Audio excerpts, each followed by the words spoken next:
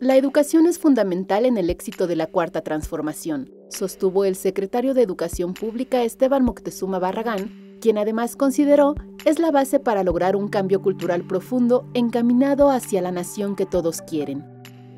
Entonces, si queremos mexicanos honestos, pues desde la educación inicial, formar a ese niño como un ciudadano incorruptible.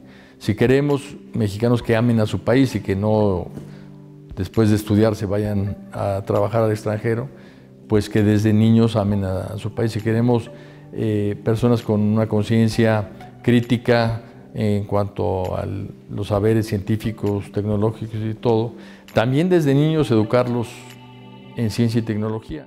En exclusiva con Otimex, el funcionario señaló que es necesario tomar conciencia de que la educación es tarea de todos y en todo momento, no solamente en las aulas. Estamos creando la nueva escuela mexicana, que estamos partiendo del mexicano y la mexicana que queremos formar. Primero imaginamos cómo debe ser un egresado de educación superior en términos de valores, en términos de conocimientos, en términos de, actitudes, de habilidades. Eh, y a partir de ahí, todo eso empezarlo a inculcar desde la educación inicial. Lo que hemos eh, aprendido de esa experiencia es que no se puede construir eh, el sistema educativo, sus políticas, sus procedimientos, sus modelos, si no es con la participación de las maestras y los maestros.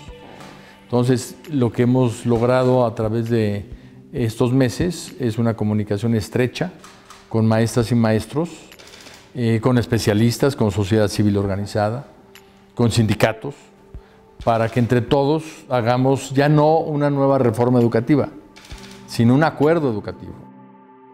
Consideró que aunque el modelo educativo más eficaz podría ser el que en algún otro país dio resultados, habría que analizar el tipo de cultura que lo acompaña.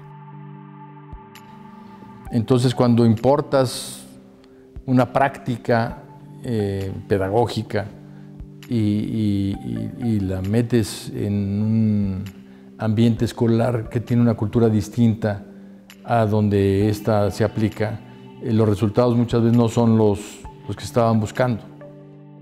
Finalmente reconoció que el cambio más profundo al que aspira el gobierno de la República y los mexicanos en general es el cultural.